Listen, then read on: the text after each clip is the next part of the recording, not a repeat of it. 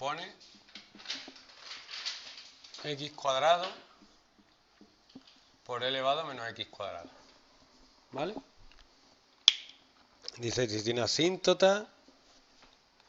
¿Tiene asíntota o no? Yo podría verlo incluso así, ¿vale? Pero es que lo de abajo nunca puede ser cero. ¿Vale? Así que vertical no tiene. Tiene horizontal.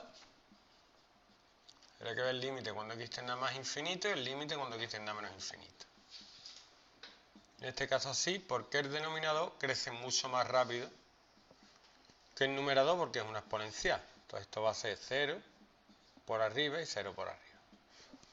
Así que tiene una asíntota horizontal en 0. ¿Vale? Si tiene horizontal no tiene oblicua.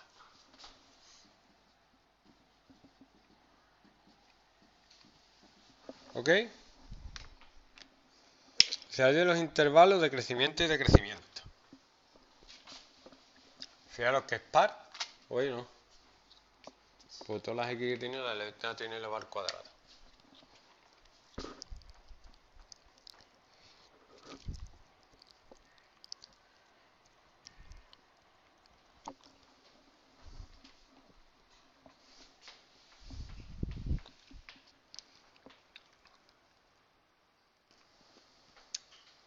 Hago la derivada.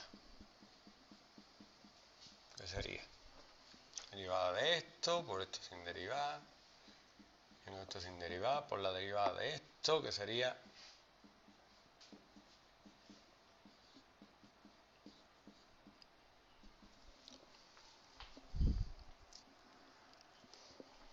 Si hago factor común arriba, me queda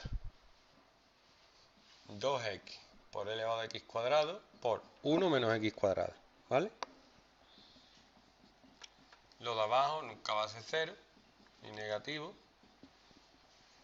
Así que para que esto sea 0, tiene que ser o que x valga 0 o que 1 menos x cuadrado valga 0, con lo cual sale más 1 y menos 1.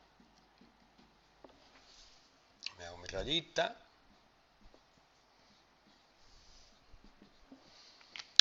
Me cojo un número en cada trozo.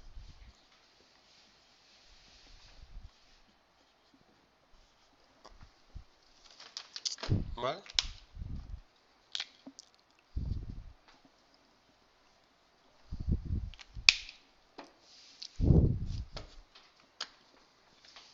Menos 2.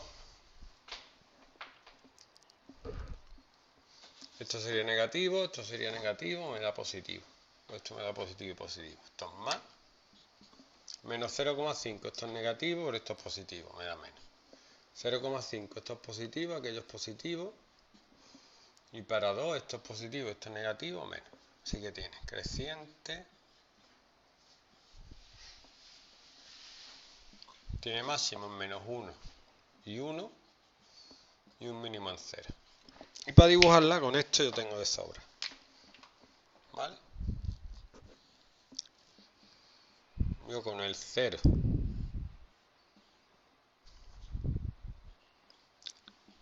El 1 y el menos 1 para 0 vale 0. Para 1 vale 1 arriba elevado a 1 abajo. Y para menos 1 igual.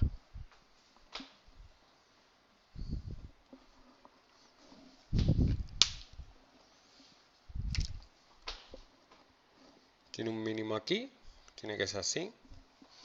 Tiene un máximo en 1 partido, ¿eh? ¿Cuánto es 1 partido, eh? 0.36. Nada. Entonces tiene que ser una cosa así. Y aquí tiene la asíntota horizontal.